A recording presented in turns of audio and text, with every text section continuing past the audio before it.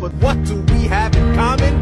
We're reliable with the ladies. There are so many to deflower. Ladies, looks, proximity to